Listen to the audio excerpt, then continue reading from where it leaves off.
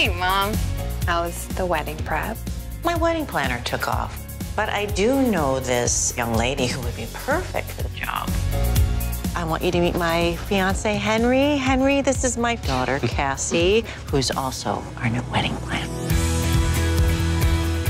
I'm calling about a catering event for a wedding next weekend, June 23rd.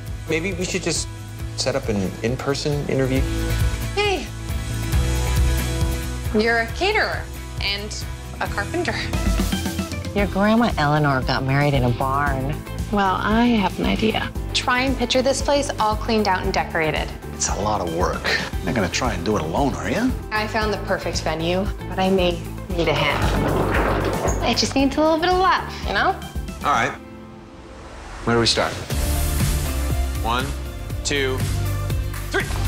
I once went to this wedding where they had these cute mini egg rolls. Absolutely not. You really don't know anything about cuisine, do you? That's why I have you. You at least have help. I have this caterer carpenter person. Person. What's the deal with you and the ladies?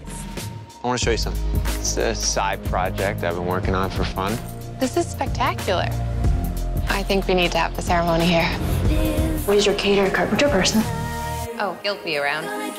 Sure, he'll bust a few moves for you. This has been special. I think I know what you mean. And Kyle, does he know how you feel?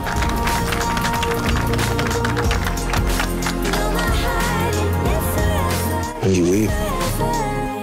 Tomorrow.